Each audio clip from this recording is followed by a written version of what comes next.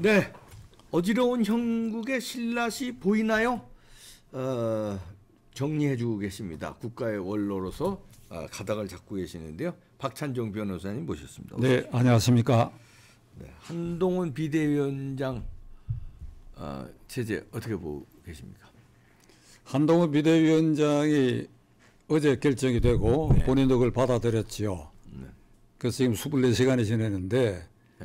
이게 지금 이 대표가 방금 어두운 한국 정치 이렇게 말씀하셨잖아요. 지금 한 줄기 빛이 비치기 시작해서 비-. 그 빛이 점차 확대될 것이다. 네. 라는 이제 확신을 갖고 네. 저는 오늘 이 자리에 앉았습니다. 지금 국민의힘당에 필요한 것은 4월 10일 총선거에서 과반수 획득입니다. 그렇죠. 그런데 국민의힘당의 그저께까지 현실은 무기력하고 퍼질고 있고 내부 분열을 일으키고 네. 직전 김기현 대표마저도 울산에 가고 울산 남구에. 다시 나오겠다. 근데 그 출사표의 이 취지가 묘해.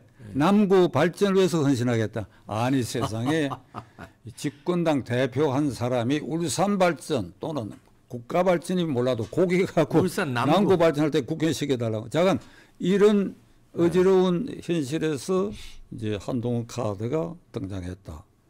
일단 한동훈이라는 그 현상을 만들어냈기 때문에 예. 지금 국민의힘당이 필요한 것은 누군가 나서서 일단 그 사람을 주목해야 된다. 네. 한동훈은 주목 대상이다. 그렇죠. 모든 시선이 글로 간다. 따라서 당내가 긴장한다. 한동훈 긴장하지요. 예. 쇄신 바람이 불 것이다 하는 그런 기대와 곁들여 불안을 느끼는 사람들 참 긴장한다. 네. 그리고 국민의 입장에서는 뭔가 쇄- 쇄신을 할 것이다. 그래서 감동을 생산할 것이다. 네. 그러니까 지금 국민의힘당이 필요한 것은 주목시키고 긴장시키고 쇄신 내고 그래요 감동을 일으켜야 된다. 그런데 저는- 뭐 정치 경험 없다 이러면서 흠집 내는 사람들이 국, 국힘 당 내에도 있고요. 그 밖에도 뭐 많이 좀 있는 것 같습니다. 정치 경험 어떻게 보십니까? 당내에 비. 당내에 비- 한동훈 카드 비판자들이 있어요. 예. 그 유승민, 이준석계 또 현역이 내 이름 말 안 하겠는데 김웅 뭐 등등 있어요. 하여간 뭐 무조건 반대야. 예. 뭐 3대 불가론이니 뭐 이런 얘기 하는데 네. 그건 말도 안 되는 소리야. 근데 그 사람들 심리는 이거 큰일 났다는 생각이야. 그렇지. 한동훈이가 대통령 후보까지 되는 거 아니냐. 그러면 우리 나에게는 기회가 없다. 뭐 유승민 누구 누구 얘들이 말이야 예. 기회가 없다. 그러니까 샘도 나고 그러니까 얘들 생각은 4월 10일 총선거에 박찬종 씨 말대로 뭐 때문에 굳이 과반수 획득할 필요 뭐 있느냐. 네. 윤석열이 탄핵되면 어떠냐? 그러면 새로운 선거가 오고 새로운 대표가 뽑히고 새로운 대통령 후보가 되고 나에게 찬스가 오지. 이런 부류가 분명히 있어요. 아유, 지는 걸 바라는 부류가 있죠. 그게 분명히 많죠. 있어요. 예. 이게 현직 국회의원 중에도 있고 국회의원 경력자 중에 중진에 속하는 사람 예.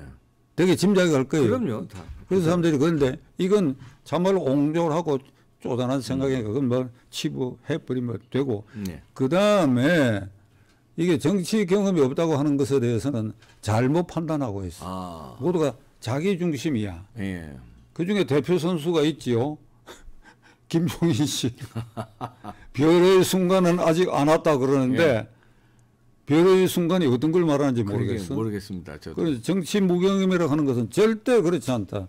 제가 반세기 동안 정치 현장에 국회의원도 하고 음. 그리고 제야 인사가 돼서 20년이 되고 직접 간접으로 느낀 여야 지도자들 가운데 네. 가장 짧은 기간에 밀집적으로 정치 경험을 한 사람은 한동훈이야. 아 정치 경험을 그럼요. 아주 한동훈이다. 이렇게 말하는 사람 이렇게 찾아봐도 없어. 없습니다. 그뭐 정치 무경험이라니까 아, 그런가 보다 그렇잖아요. 국회의원 한 일도 없고 정당 경험도 없어 보니까. 그러나 정치의 현장은 지금 국회고 네. 국회에서 정당끼리 부딪히고 그리고 야당과 정권이 부딪히는 그 현장에 지난 1년 7개월 동안 거기에 매일 싸웠죠. 제일 많이 싸웠죠. 뭐 매일 싸웠어. 네. 매일 전투를 했어. 맞습니다. 그 과정을 통해 가지고 아 국회의 생리도 알았고 여당의 생리도 알았고 특히 야당의 본질이 뭐라고 하는 걸 한동훈처럼. 예. 한동훈처럼 몸으로 되받고 되치고 하는 과정을 통해 가지고 예. 나는 이미 그가 숙달된 스타라고 생각해요. 음. 이, 이 말을 듣는 사람 박산종이가 공연이 지켜버린다고 그런지 모르겠어요. 저는 한동훈하고 아무 인연도 없고 그렇습니다.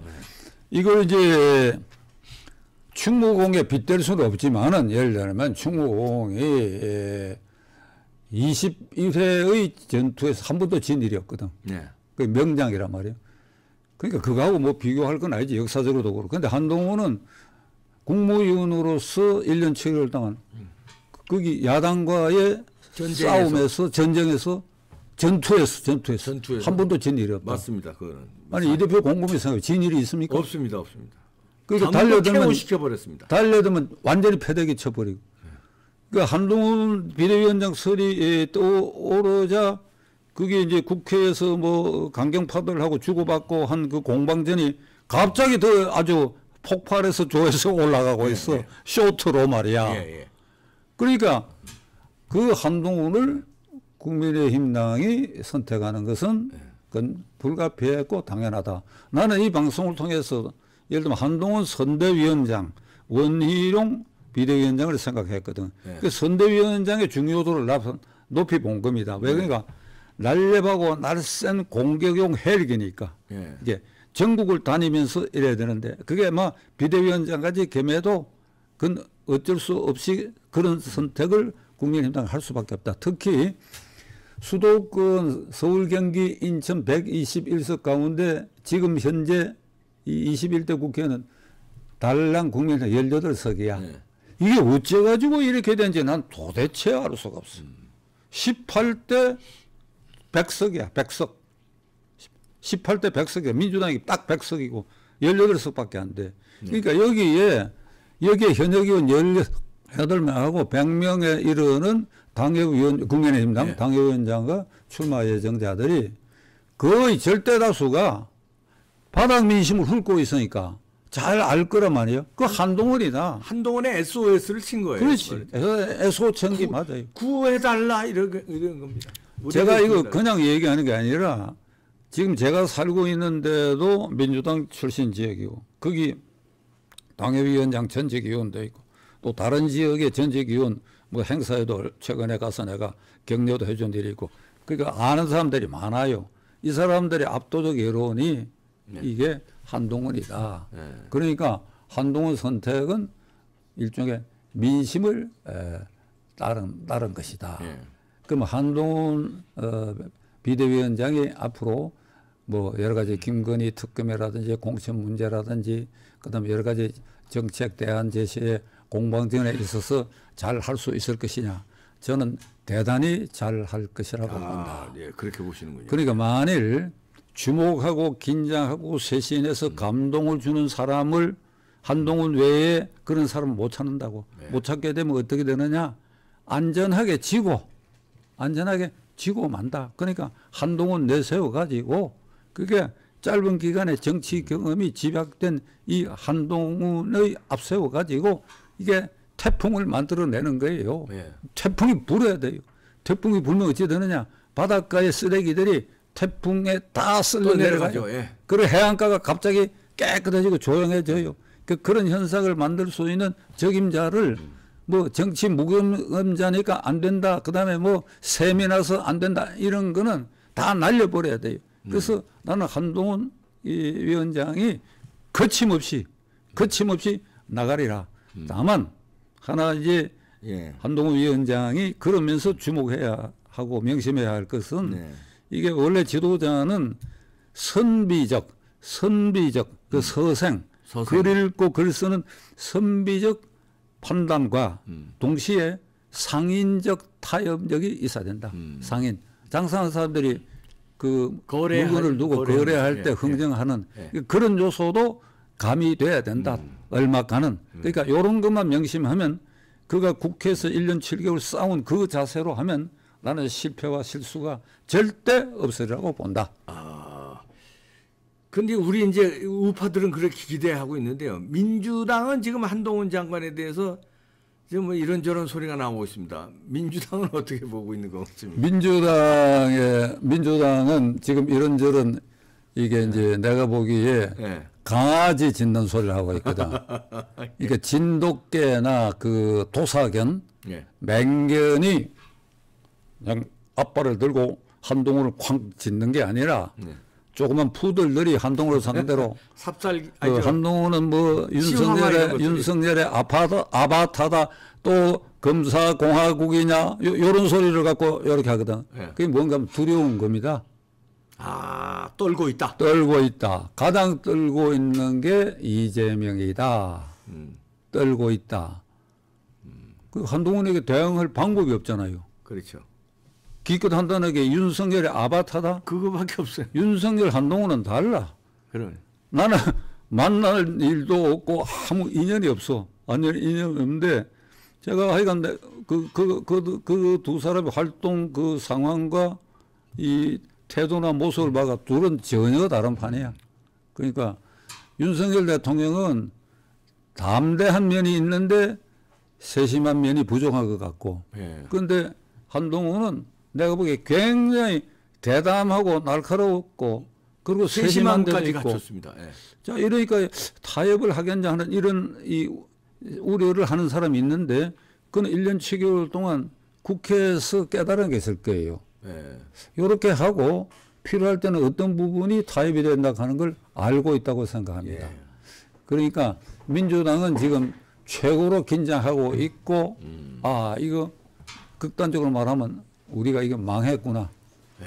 그런 분위기가 감지됩니다. 그런 분위기가 감지되고 있다. 그 그러니까 그들의 태도에서 예. 맹견적 자세가 아니고 이 푸들적 자세거든. 예. 캉캉캉캉 이렇게 했고 예. 아 윤석열이 닮았다 검사공화국이다 뭐 정치 무경험자다 이런 소리를 하고 있거든. 예. 그러니까 그거는 한 방에 다 날아갈 일이야. 말씀하신 대로 지금 정청래 같은 자들이 그런 식으로 나오니까 이재명계의 좌장이 정성호 의원이거든요. 정성호가 어 한동훈은 다르다. 그렇게 그러지 마라. 한동훈 나오면 thank you 그래서 한나 땡 그러는데 그런 저 일차원적 생각하면 안 된다. 두려움에 떨어야 된다 이러면서 이 정청래를 윽박질릅니다 오히려. 그러니까 친명계의 좌장이 그럴 정도면 이재명은 지금 에, 과주 난처한 입장에 빠졌다. 떨고 있다는 게 입증이 되는 장면입니다. 정성호 의원은 이 수도권 출신이고 네. 그가 국회의원으로서 어, 지금까지 해온 것에 대해서 내가 늘 좋게 봐왔어요. 네. 온건하고 대안을 제시하고.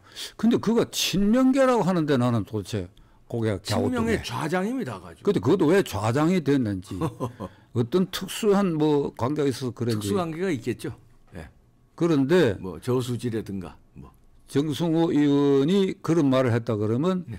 그건 원래 본인이 내가 생각했던 정승호 의원다운 말이라고 생각합니다. 어 그렇습니까? 예. 그러니까 예를 들면 정승호 의원처럼 생각하는 게 이재명 강경파들의 생, 그 정승호 의원과 같은 생각을 하게 된다면 두려워해야 할 것은 국민의힘 당이지.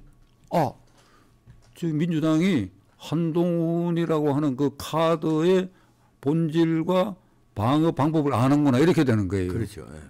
정성호식으로 판단한다면. 예. 근데 그건 정성호 없고 전부 다 엉뚱한 사람들 있잖아요. 예. 엉뚱한 사람들 있는데 저는 이 민주당이 결국은 4월 10일 어찌 되느냐 예. 한동훈 태풍에 무너지라고 봐요. 아 민정 무너져. 무너지면 어찌 되냐. 무너진다는 것은 과반수로 잃는다는 것인데 그렇죠. 4월 10일 선거에 무너지면 말이죠. 네. 그 22대 국회가 5월 30일에 아마 임기가 시작될 겁니다. 네. 개원할 겁니다. 네. 그럼 한 달 한 반 사이 선거 후 한 달 반 사이 22대 국회 개원 전 요 사이에 민주당은 붕괴됩니다. 친명계 그 순간에 오면 그 한 달 반 사이 친명계는 없어집니다. 그게 권력의 생리입니다. 역사적으로도 그런 예가 아니 있- 결사적으로 탈출할 거예요. 왜 그러니까 공천 받아가 4년 보장을 받았거든. 그런데 이게 똥덩어리를 어떻게 안고 갑니까? 그렇죠. 그러니까 버리는 거지. 나 이건 예언을 하겠어요. 당연히 버려. 이 대표하고 네. 5천 원 내게 해요. 당연히 버린다고. 당연히. 이, 그냥 지금- 네. 눈 녹듯이 그냥 폭삭해 버려. 그리고 이재명이 무슨 비례대표로 뭐 갔든지 지역구로 갔든지 이원직도 아마 사퇴해야 될 거예요. 네. 그리고 이이 사법 처리 모든 것에 응해야 되고 음. 그리고 그 이전에 구속이 안 되면 그 그때부터는 그 구속해서 재판받고 깜방에 가 있어야 돼. 네. 그런 일이 벌어질 것이다. 그런 그러니까 예. 그걸 생각하면 굉장히 무서운 거예요. 이재명이는 네. 지금 벌벌 떨고 있는 거예요. 벌벌 떨고 있다. 그것만큼 한동훈 카드는 유효했고 성공적인 카드다. 그러니까 국민의힘당은 일부 한동훈이가 등장함으로써 나에게 대통령 후보 당대표 기회가 오지 않았다고 절망하는 녀석들을 제외하고 나머지는 전부 한동훈 중심으로 뭉쳐라. 이게 오늘 결론이. 네. 뭉쳐서 잘 해내길 바랍니다. 잘 해낼 수 있을 것 같습니다. 한동훈한테 기대가. 네. 박찬종 변호사님이셨습니다. 네.